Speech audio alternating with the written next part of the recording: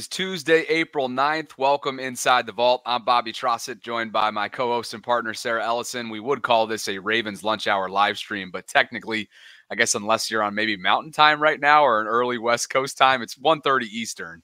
So we're a little bit off. Maybe some of you are, it's, it's still in your lunch break, but we had to push it back an hour today because of the annual pre draft Ravens press conference, which of course gets ready and anticipates and prepares for the upcoming 2024 NFL draft.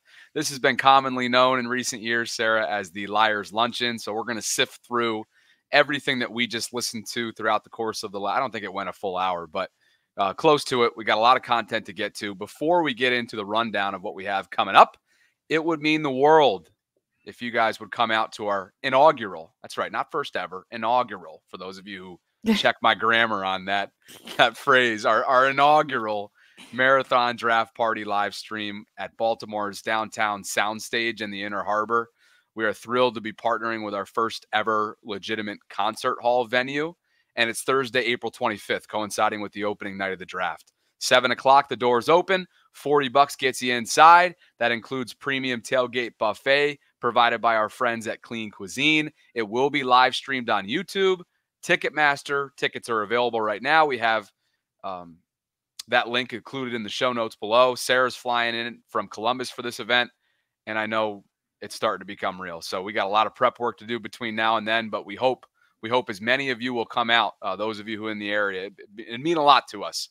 So we hope, and I can't wait to see you come out to Baltimore again, partner. Get your tickets. Let's go. Just click on it right now. Get your tickets and meet us there draft night. Let's go. So, in terms of what we have coming up for you in this live stream, John Harbaugh made a pretty big, bold statement about the 2024 season. Eric DeCosta talked about the state of the team overall, and then proceeded to go meticulously position by position in terms of his evaluation, which is ongoing throughout the course of the next few days before they have, of course, the 30th overall selection in the opening round. They talked a little bit about Trenton Simpson and his development as a year two, almost redshirt, if you will, rookie year, standing behind and sitting behind Patrick Queen. And some fifth year option decisions weigh and, and loom for Rashod Bateman and Odafe Oweh and a number of other things, including some of the questions that weren't asked at the press conference that if we had a chance to be there, we definitely would have wanted to get down to the bottom of. But we'll begin with this. And you see the quote up on the screen for those of you in the audio only crowd. John Harbaugh was quoted for, well, we'll get to what we what he had to say in just a second. Here he is in his press conference. And the goal is to be in, all in to the question every single year as best as you can be. You can't just be, oh, we're gonna we're gonna put all our chips on the table this year. Next year we're gonna fold and not play any games. No, we're gonna try to win the championship every single year, as many games as we can. And it's the sum of the parts that we put together and what we build around those guys. And go out there and play on Sundays and lay it all out there, you know and with a bunch of fans yelling and screaming in the background to support your football team. That's what we're all about. That's what football is. It's not just a math equation. It's, it's more than that. And that's what makes it so exciting and so interesting. And we're going to have a heck of a team next year. You wait, you watch. You wait and see what we do.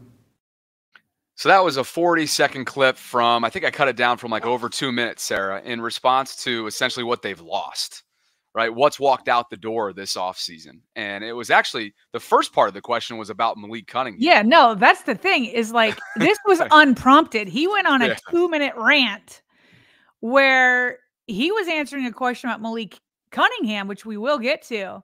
But somebody else had asked Harbaugh, I mean, Eric DeCosta, several questions beforehand. Like, are you guys all in? Like, quote unquote, all in, mm-hmm. all in because uh, Jerry Jones had said that, right? Or you'll see and and Eric kind of is like, we're always all in. You should know that, Jerry, because it was Jerry Coleman who asked it. He's like, you you should know we're always all in. We don't and and then so Harbaugh is kind of quiet to the side because the, the comment wasn't for or the question wasn't for him, but he clearly was passionate about it. For sure. To like bring it up uh, during this two minute rant. And Bobby, I kind I I agree. I think this is more than coach speak because I mean, we're going to have a heck of a team this year. You wait, you watch. How many times have we been saying is people have been, some people, not everybody, but a portion of the fan base is hitting the panic button, right? That you've lost about a dozen different free agents. And it's not fun to watch Patrick Queen walk out the door or uh, you know, Clowney or uh Darby or any of these guys. It's not fun. But we've been talking all all off season how it's the blue chip players. And then you gotta you gotta there's there's guys out there that can supplement your blue chip players. Eh, Ravens have about eight of them. Yep. And that's what you need to win a championship. So to me, I agree. Now, you it still doesn't mean you didn't miss an opportunity last year because you had an opportunity and you never know what is going to happen in the injury department. But if they have another year where they don't have major injuries, I agree with them. I think the Ravens are going to have a heck of a team in 2024. Sure. And Eric was quick to say, right, and we're going to get to these, uh, a couple of these snippets. A lot of the contributing players weren't even on the team this time last year. Right. So there's a lot of work to do between that. What was the quote that he said? Like we don't we don't work for for May, we work for September or something yep. along those lines. Like, yep. and that's true. Like bringing in Kyle Van Noy in September off the couch to get nine sacks from him a few months later shows you patience. Jadeveon Clowney coming in over the summer during training camp and him having a career year. Those are two career years right there from a pass rush standpoint. And we haven't even mentioned the Darbies of the world. He did.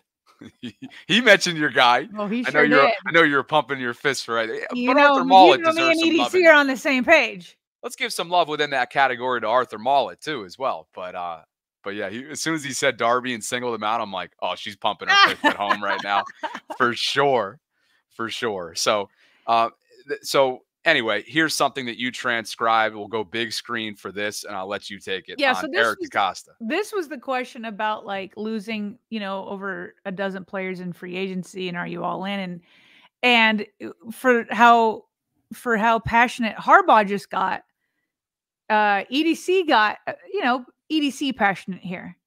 And he's like, we're in the same place that we were in last year at this time. I mean, go back and read what some of you wrote last year and see where we ended up. So he's like challenging, you know, the the media members there. What did you guys say about us last year? They like, do read it. Uh, oh, of course they do. I mean, I was an intern and I and I put together you know. the clips. Yeah, you I mean, we had it. to divvy it out. We took it upstairs. We gave it to the coaches and and all, yeah, they read it because it's the PR's team to make sure they're you know on top of what's being said about them. Um, now, do they read all these comments in social media? Probably not, but they read what the media is saying. And um, and by the way, actually, last year at this time was probably worse. Did we? Well, no. I, well, it depends on when you count Easter, right? Because Easter is when they signed uh, Odell Beckham Jr., but Easter came much earlier this year. So if you were talking just calendar, I mean, not right. Easter, but the date, like the Ravens still don't have OBJ. They still don't have Lamar at this time mm-hmm. last year. So right. Ravens are light years ahead by just having Lamar. So anyway, he goes on to say, quote, we have a lot of time to make moves. A lot of the players that we lost, excellent players. A lot of these guys were acquired in August and September, to your point, Bobby. He goes on to say, so we're still building. And a big part of that is going to be through the draft. And then he goes on and says, but guess what? We're also, we're always looking at trades. He's like, we're bringing guys in for visits. He's talking about free agency. He's like, you know, all of that. We're still, that's still going to be a big part of it. And he says, quote, I think we're just getting started. The destination is September, not May, close quote. And Aha, that's what it was. The destination. Destination. Yeah. Okay. Nation. And it is funny, Bobby, because it, it, at one point, John Harbaugh, and it was in that rant that we kind of cut out a little bit because it really was going on for a while. But he said in there, he's like, we get asked the same questions in here, right? He's been doing it for, I don't know, how long has he been head coach? Like 18 years at this point? Harbs? Yeah. I think last year was 16. Oh, okay. Gave him two extra years. Um, well, okay, going into 17. I'm not that far off. All right. Give myself not at all. Yeah. All right, I'm close. I'm close.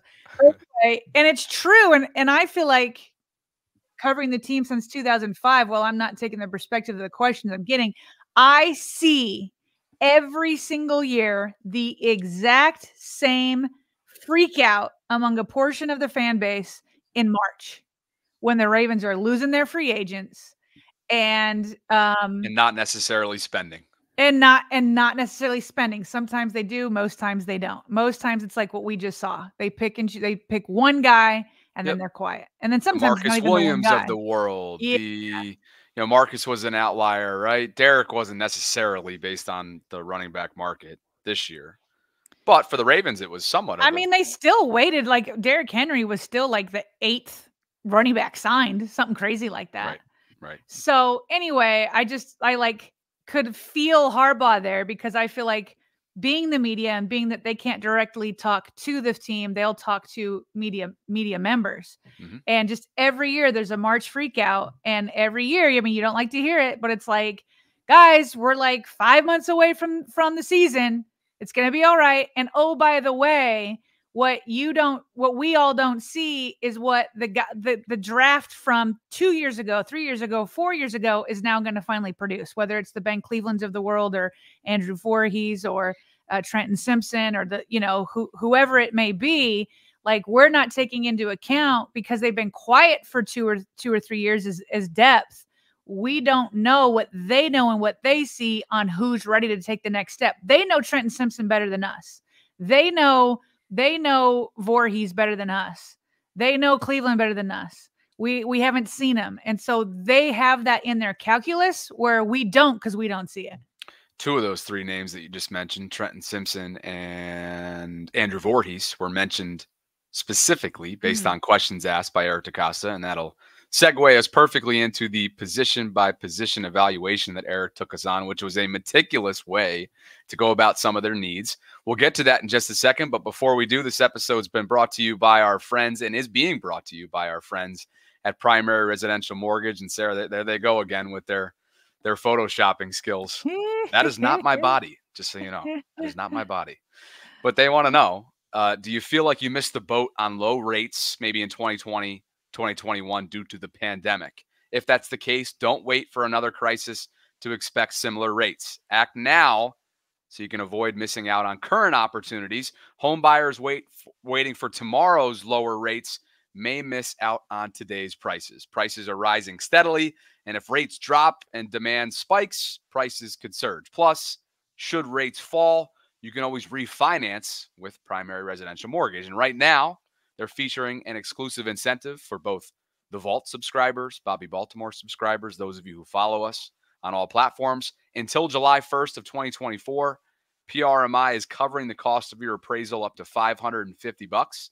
In order to redeem that, you can apply through the PRMI Mid-Atlantic website. Just mention our name, either one of our names, and you can find that in the show notes below. That link, I should say.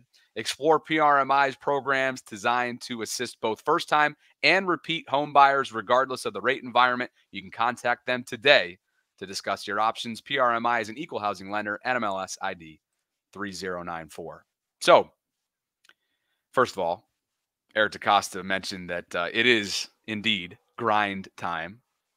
He's, the team spent all day yesterday from 9 a.m. to 6 p.m. reviewing the offensive linemen in this draft class, which we'll get to in just a second. But let's actually begin with John Harbaugh kind of catching everybody up to speed on something that reporters followed up on from what he mentioned during the owners' meetings in Orlando a week or two ago. And that was about number eight's input on wide receivers. And I'll let you take this since you transcribed it. so, yeah, I thought this was interesting um, because we, as we've talked about on the show before, uh, we've seen the impact Lamar has on the wide receivers that the Ravens either sign or draft. Zay Flowers, Hollywood Brown, OBJ, uh, and who knows? Who knows if he had a hand in, in Nelly? Who knows that that Florida connection? But they asked him, okay, what about Lamar's input into this year's drafting wide receivers? Harbaugh says we talked right after the season about the type of guy, the type of role that he thought would fit. We were all on the same page with that part of it. Bobby, pause for and not the not the pause that people use the kids use these days but just pause on reading this yeah, yeah, but yeah. but um the the um uh, they're talking about an x right here right they got to be because you have the smaller shifty guy with zay you've got nelly and and bateman who can kind of can kind of play that x role uh and so, but that big, big body type. I'm, my guess is when he's saying the type of guy, that's who I think they're think, talking about. Oh, and yeah. the reason, another reason why I think that is just what we discussed yesterday is based on uh, who they've brought in, which are bigger body guys, to come work out, and Jeremy Fowler's kind of uh, uh, report that they're looking for those big bodied X receivers. So that's my guess of who they talked about with Lamar, just like the type. Okay. And I'm he goes on. you. Okay. I'm Glad we're on the same page. All right. Quote, but it doesn't always work out that way. Can't always get exactly the type of guy you want. So Lamar has been tasked over the text world with a couple of assignments. Because remember, Sarah, this time last year, we learned that all he really communicates to these guys, whether it's the general manager or the head coach during that negotiation process, was via text. That was part of like the, the weird generation difference between these guys, right? Like, I would think that Eric and John would just rather hop on the phone, but Lamar did most of his business via text last year, which was, was Yeah. a very interesting wrinkle There's in two hundred and fifty million dollar contract all done via text. text. Yeah. Exactly. yeah. I feel like John has like already moved over into that text world because he's been with the players, whereas EDC is usually communicating with agents. Yeah. So it might have been more of an adjustment adjustment for EDC. But right. anyway, so he says we've we over the text world. Just that alone lets you know he's not used to it. Over the text world. It immediately brought me back to last year when they talked about it. You know, because they were they were asked about so much of the nuance of, of that negotiation. So- Yeah. So I ever text about it. Anyway, so he asks them, he gives them a couple of assignments. Then he says, So we'll see who he likes. He looks at guys on tape. I can just see Lamar now looking at the tape. Okay. He looked because they give him the iPad, and I'm sure they just like, you know what I mean? You know how they in the iPad, they like after games, they immediately load the iPad with all the plays from the games. Yep. I'm sure the video tech guys on the football side loads all the coaches and everybody's either iPads or computers with all the pertinent tape that's needed for each draft prospect, right? So they're not hunting it down. So they're like, all right, let's send Lamar. Here's who's who. Here's who we like, Mhm. uh, or more, you know, and send him to Lamar's iPad and let him. That's how I envision it. I could be wrong, but that's kind of how I envision it. Uh, so we'll see who he likes. He looks the guys on tape, and he's never been shy about giving his opinion on free agents or the draft. Then he says he hasn't weighed in quite yet. We're almost two weeks out. Then Harbaugh goes, but he will. So that's where we're at with Lamar Jackson input on wide receivers. Okay. And this is where we're at in terms of depth by position with some of the key needs in terms of Eric DeCosta's evaluation, one of which is, of course, wide receiver. I, I think offensive line is pretty stacked across the board in most rounds. I think receiver is a is a really deep draft this year.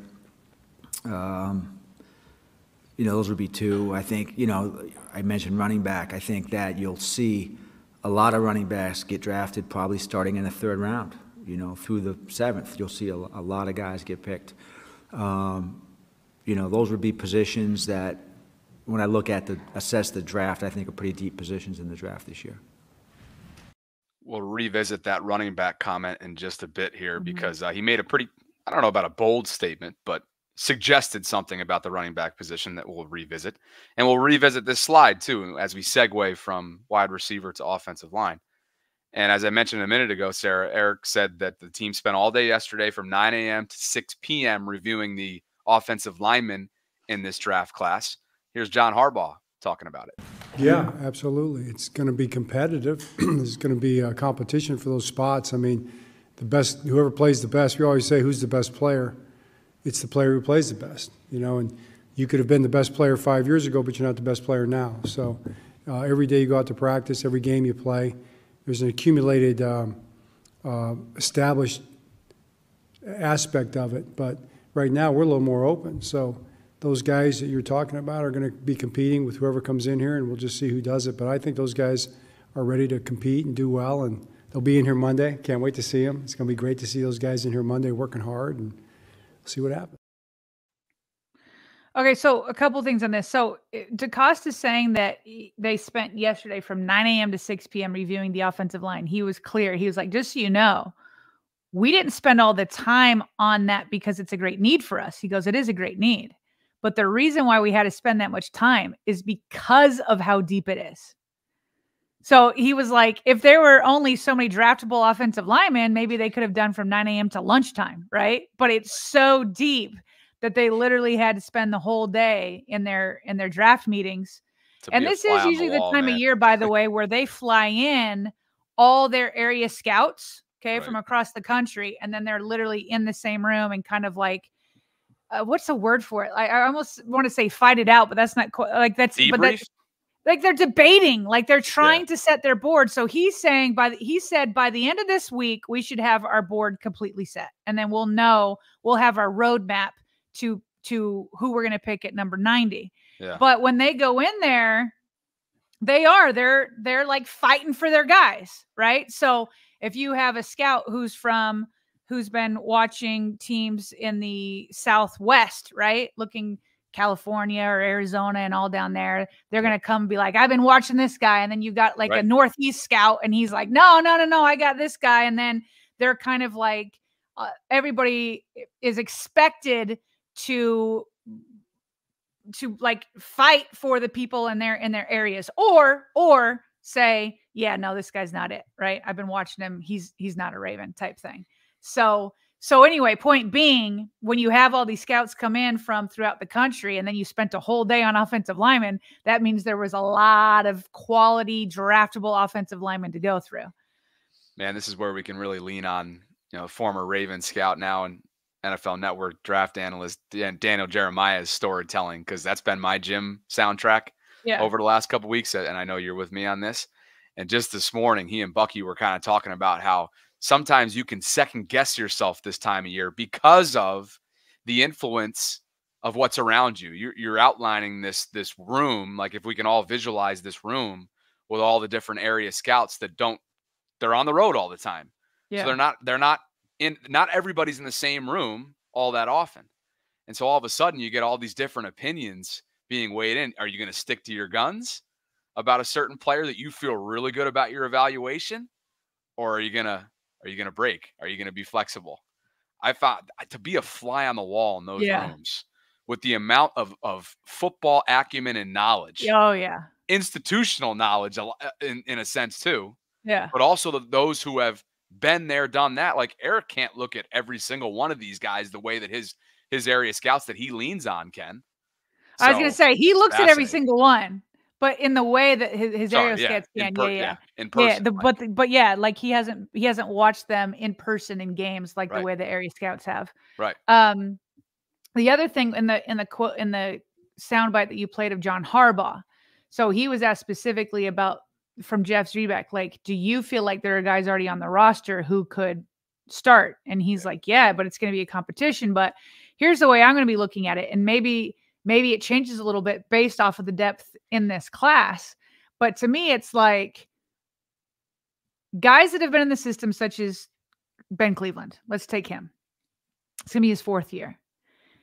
Is there going to be a guard that you can draft?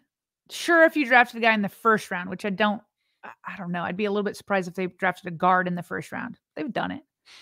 Um, but outside of a first round guard, I have a hard time thinking they're going to find somebody in like the third round that's going to beat out Ben Cleveland in year one. You know what I mean? That's why to me, it's like, regardless of who they draft, you'd think that Ben Cleveland would be the favorite going in. Now, that being said, if it's as deep as they say, maybe that blows that theory out of the water, right? Maybe, maybe because it's so deep, you know, a third round guy in his rookie year could really push Cleveland you know. Now I do think there'd be more legitimate competition on the left side with like Vorhees and whoever else because yeah. the, the candidates there are still a little bit younger. It's not like they're going into the fourth year, but um, but I still with out outside of a first round offensive lineman, I would still think it would be an uphill climb for a drafted guard to win the position. You know, week one. Be awfully week disappointing one. for Ben you know, yeah. to be, to be involved in the program for that long and to lose your start your starting spot, which we're all kind of penciling in, right? Let's let's face it, we're all kind of penciling in Ben as one of the starting guards. I am. The other guy who could potentially be there, the aforementioned Andrew Vorhees, was uh, they they pinpointed him specifically, and Eric has been watching him for sure throughout his ongoing rehab. Yeah, well, uh, I, I did that just because I knew all you guys wanted to go home, and so I was hoping to catch you guys as you were leaving the facility, so you'd all have to. Let me clarify so you guys aren't confused. Set some the of these, up. Some of these need to be set up perfectly. so remember, they traded back into the seventh round after they had already done their post-game draft press conference a year ago to go and get the USC guard, uh, Andrew Vorhees. So they're kind of revisiting that decision. They thought they were done, or we all thought they were done. The Ravens had other plans. Sorry about that. Yeah, well, uh, I, I did that just because I knew all you guys wanted to go home, and so I was hoping to catch you guys as you were leaving the facility so you'd all have to come back and cover the draft. Um, but no, seriously, um, you know, Andrew was a guy that, that I had seen on tape, and I thought that he was a good player and that he would have a chance long term to be a player for us and be a starter for us potentially. A physical, tough guy that loves football. Um, so, you know, we were just sitting there and we hadn't made a trade and he was still available. And I just had this idea that if we, because we, cause we had already had our kind of end, end of the day press conference, and I was watching, and I thought I was going to go upstairs and just call the. Uh, ended up being Andrew Berry, which typically we wouldn't do a lot of trades with in, in divisional opponents, but uh, he was happy to do it, and so it made all, all the sense in the world for us to do it. So it just seemed to me that we would get some value with him as a player. That had he been in the draft and been healthy, he'd have been a higher pick. And I saw ability potentially for him to be a starter at guard in the league. So we'll see. He's, he's done a fantastic job with rehab. He's very, very strong and physical, if you guys have seen him. Uh, the strength coaches and the trainers and the doctors are all very excited about him, and so we'll see what he does. Eric, um, I think. Promising. There you go. You, know, like I, I thought he had starter ability. So we're gonna we're gonna find out. Continues So- to be promising. Very, very promising. What about right. the cornerback class? That's what I was gonna say. Let's move on to cornerback class. Now, this one he basically said that they're average. But basically that. guaranteed that they're gonna pick somebody. So Yeah, that's actually the word he used, though. Average. Well, let's hear it. Here it is. Uh, you know, I think it's a, a solid class. Certainly, probably not at the level of the uh, receiver and offensive line. Uh, you know, very cyclical, but definitely some players who can come in right away and probably compete to start for us. Um, we would love to add a talented corner at some point in the draft, whether that's first round or second round, third round, whatever that might be. A talented player who can help us. That's a position, as you all know, that you know typically you never have enough due to injuries and different things. The guys will break down throughout the course of the season. I think our depth has always been tested in the secondary. This year was no exception, and we were we were blessed to have some guys like, for instance, Ronald Darby come in and, and really help us. And so, yeah, if we have a chance to draft a corner this year, you can you can count on us doing that. And let me just clarify. It was the edge rusher. Edge rusher. Uh edge rusher was this one. This one was solid. Solid. So it's the edge rusher class. Excuse me there. That's average. Yeah. Solid, but not at the the depth uh, of of offensive line and wide receiver. So, uh, no, this is this is exactly why I wanted to get Ronald Darby back. Is is his point? Is like there is something about cornerbacks. They're kind of like these these track stars, right? That just break down a little bit, you know, throughout throughout this the season. If they don't have like a serious injury, it seems like there's always like a hamstring pull, like Yeah. a calf or something, you know. And so they do like I, I, I just don't know what you can get out of J- Jalyn Armour Davis because he to the question to this whole thing is like he hasn't been healthy. I don't know what you can get out of Pepe Williams, which is they double dipped that year when they got both of those guys because he hasn't stayed healthy. And I mean, it's you know you've got Stevenson and Humphrey to start. Arthur Maulet, great re-signing. Uh, love his attitude. And then you know Trayvon Mullen, Kadar Hallman. They got to add to it. They got to add to it. So they call this a liar's luncheon. There's probably a couple lies in there, but but there's a lot of truth there. I mean, he if he, he needs to he needs to get a cornerback. He needs to get a cornerback. They need depth. They need depth. They need depth. Due to Keaton Mitchell's uncertainty around what his rehab is coming back from last year's late season injury, uh, the running back class is definitely going to be something that the Ravens are looking at and probably are going to have to address at some point. And Eric didn't shy away from saying kind of exactly that. I think so. I mean, you know, I think it was an interesting dynamic this year uh, in free agency. You, you saw whatever it was, maybe nine or ten guys get signed on the first day of free agency. And I think part of that was probably, you know, how people looked at this running back class in the draft. There's no like top tier first round necessarily type talents this year. Uh, that being said, there's a lot of guys. If you're looking at the, the, the, prospects in the second, third, and fourth round, there's a lot of those guys, particularly third, fourth, fifth round clumps. So uh, we've looked at those guys very closely. We're excited about some of those players. You know, there's probably a pretty strong chance we will draft a running back at some point.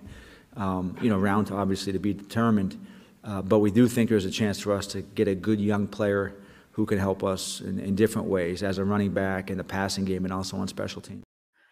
A pretty strong chance there, Sarah. Pretty strong. Of course, chance. they're going to draft a running back. They have to. they they don't they don't have anybody healthy beyond um, Justice Hill and and Derrick Henry. Derrick. You you yep. need you need depth. You you absolutely need depth. So of course they're going to, and I also think they're probably going to add some undrafted rookies. Yep. Sure would be nice if they could repeat, you know, the the success they had with Keaton Mitchell. Uh, but yeah, of of course, of course, going to draft a running back. They they have to. How about inside linebacker? Life after Patrick Queen. Eric DeCosta was asked about Trenton Simpson, the second year player out of Clemson that the Ravens are really high on. So much so that there's almost this expectation that uh, you know not only is he going to kind of be plug and play, but he's going to be that guy from the jump. Here's EDC. Well, first we were very excited to bring Kyle back. You know, it was a great experience for us last year with Kyle, and I think. Uh oh, Kyle Van Noy. I'm jumping out ahead here. Sorry. First, I think you know Trenton is going to have a great season. He's great attitude. I think he grew as much as anybody this year. It's tough, you know, for young players. Um, he, he showed up on special teams. When he played on defense, he made some plays late in the year. Got a lot of talent. I mean, he's as talented as any inside linebacker in this year's draft class, for sure. So excited about him.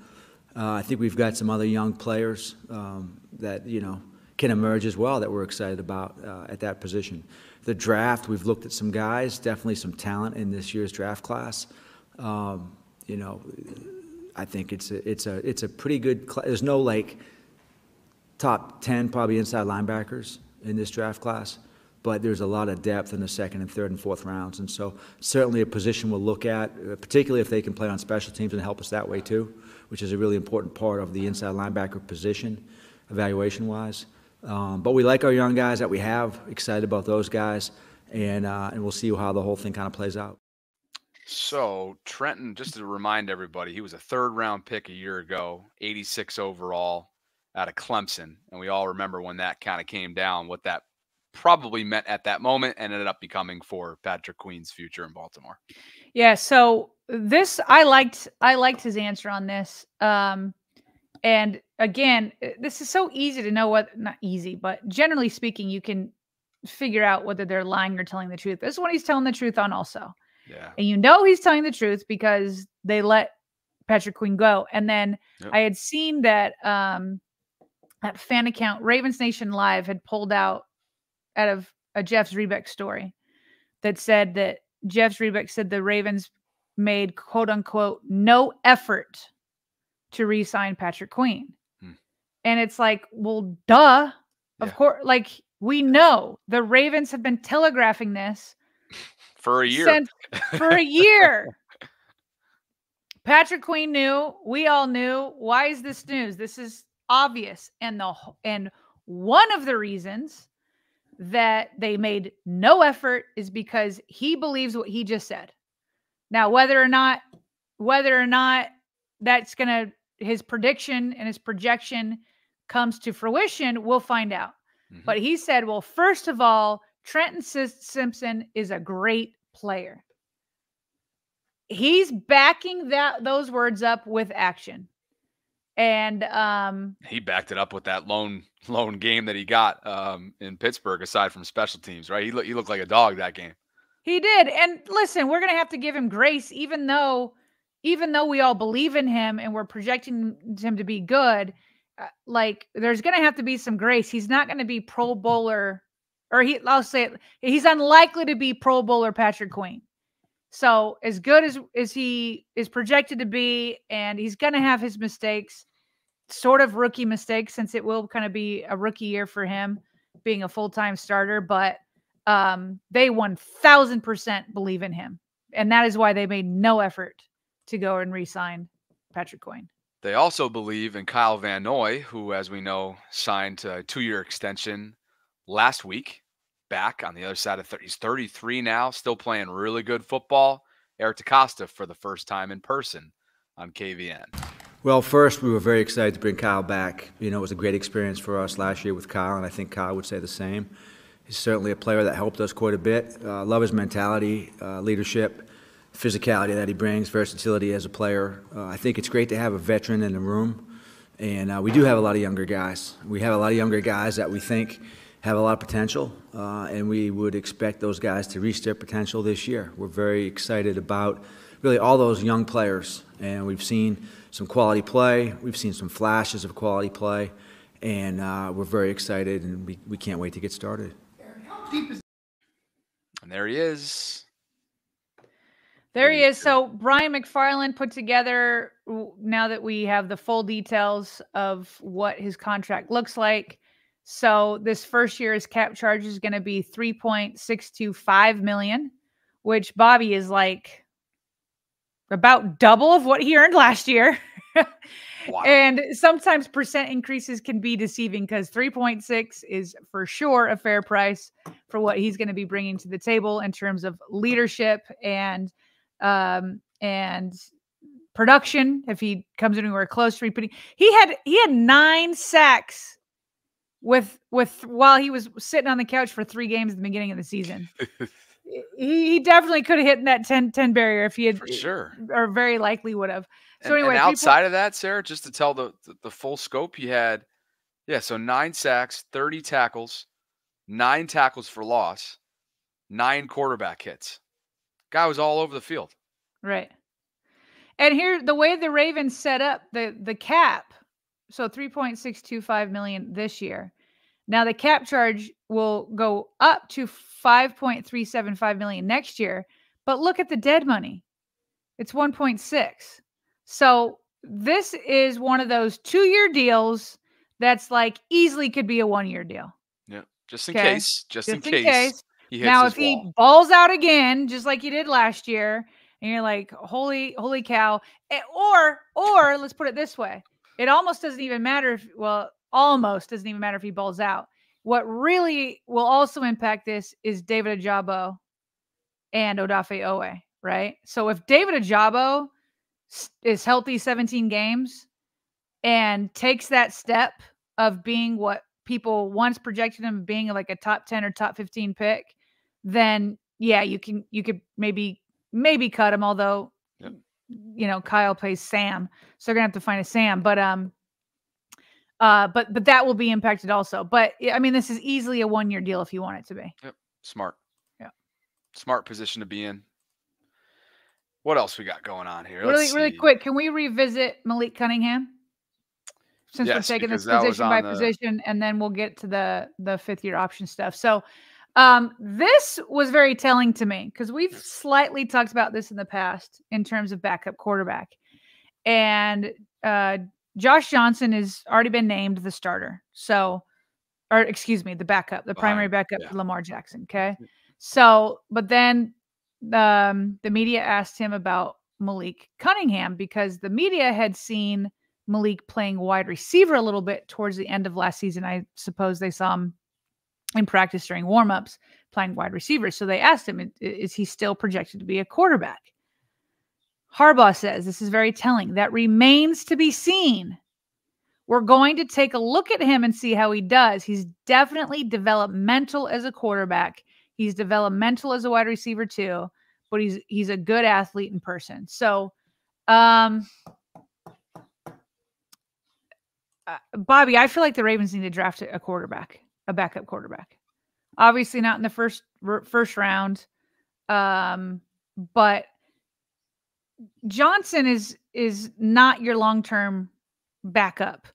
Um, Josh is a career journeyman. He's a career journeyman, an exceptional pro is prepared. He'll be ready, but he's not going to move the needle in terms of win and losses. No, and I and I just feel like they need somebody behind there. I mean, we've we've seen this movie before with with Tyler Huntley. I think it needs to be a, a step up from Tyler Huntley if you can. I mean, this is obviously ideally that's that's what you want. Now what you can get is another as another thing, but um, I, I just feel like there needs to be a young guy in there developing underneath Lamar that is a legitimate uh, contender to be a backup quarterback. And when Harbaugh couldn't even commit to the fact that Malik Cunningham is going to be a quarterback as opposed to a wide receiver, mm-hmm. that makes me feel like, you know, he hasn't shown enough for them to feel like at least be, yeah, he's our number three quarterback, you know?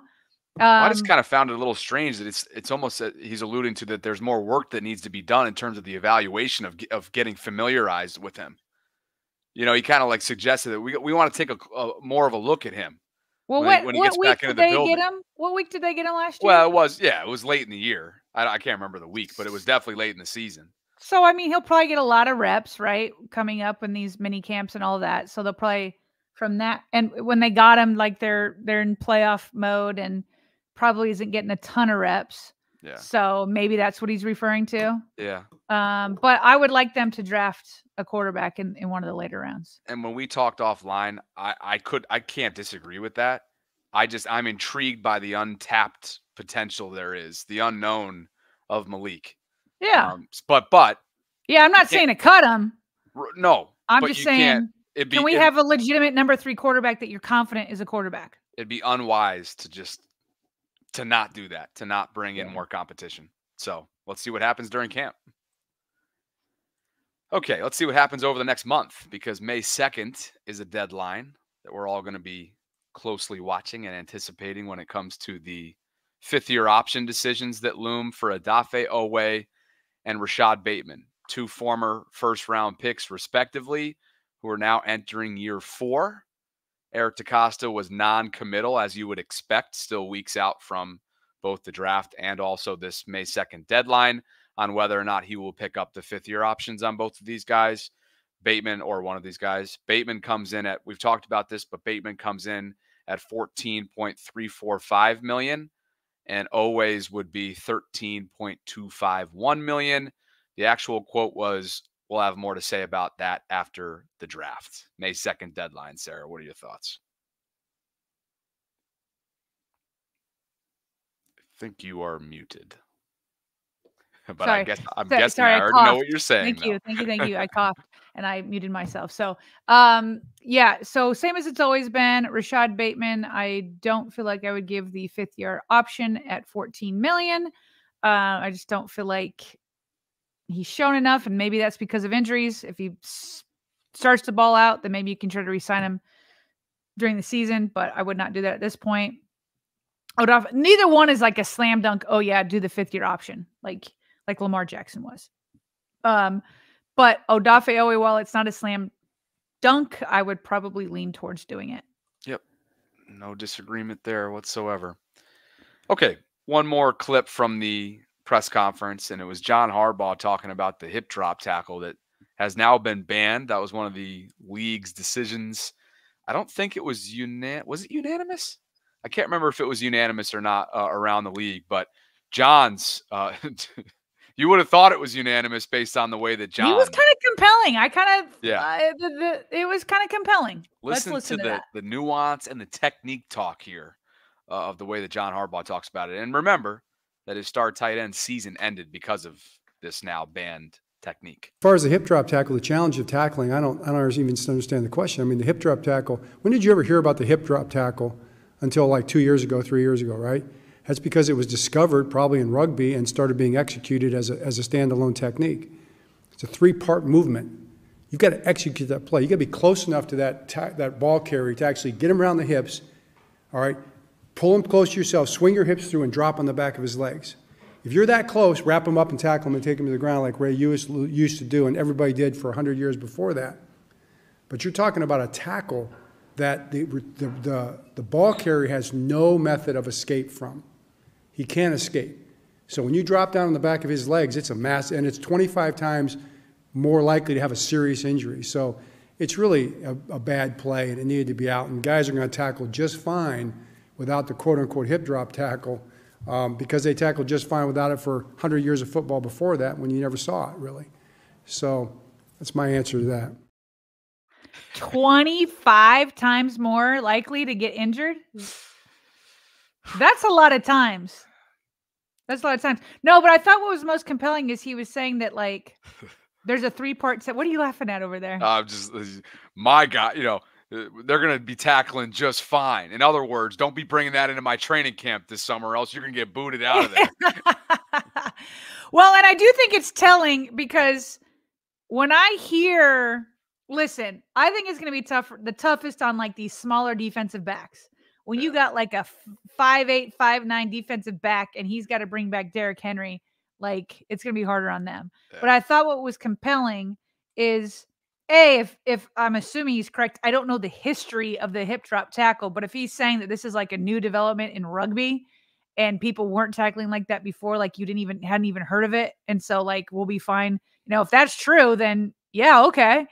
If like that it's only been a new thing the last couple years but he said it's like a three part kind of move for it to hit all the elements right? Like yeah. you have to first of all grab them wrap your hips I mean, wrap your arms around their waist area and then, and then completely dead weight yourself on top of like on it. And so it's like to his point to even wrap up that way to put all your and then drop your hips and have all that weight to his point for that to happen, you got to be close enough.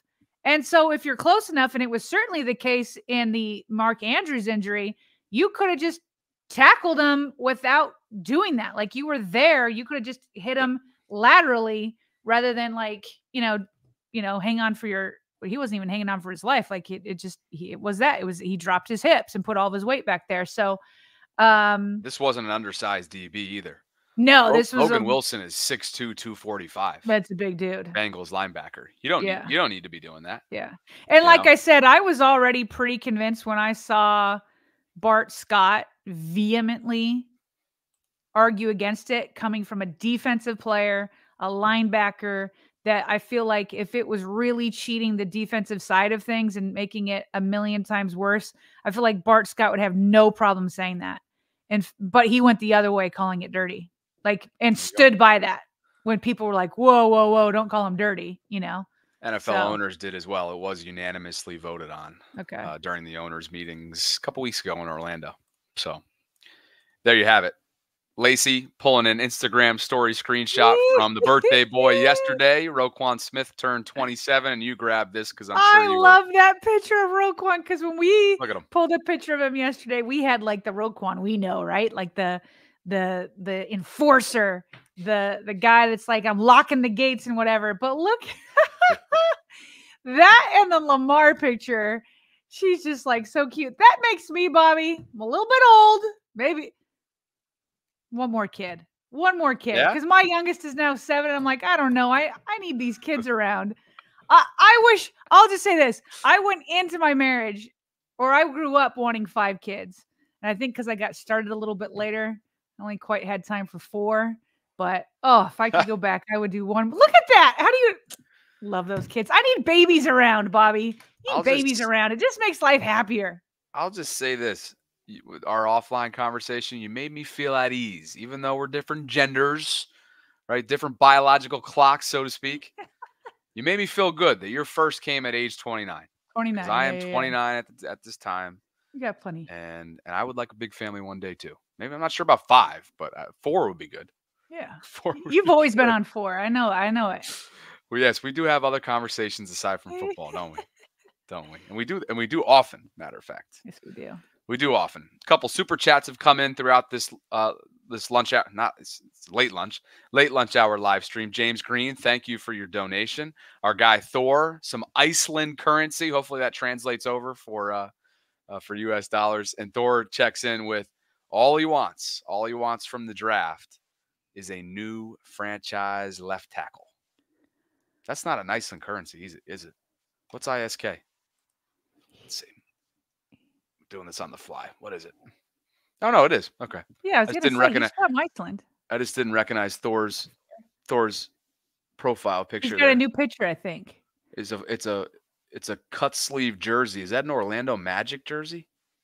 You gotta let us know, Thor. Oh, anyway. But Thor, just so you know, it's a chance they do. but that that future franchise left tackle, if they if they get it this year, will likely at least start week one, not at left tackle. Yeah. Right. Right. If Stanley is is healthy, which you never know. You do never know. You kind of You roll the never know. dice there a little bit. Yeah. Hey, before we go, we'd love for you guys to join us for our inaugural Ravens Marathon Draft Party live stream coming up on Thursday, April 25th, coinciding with opening night of the draft.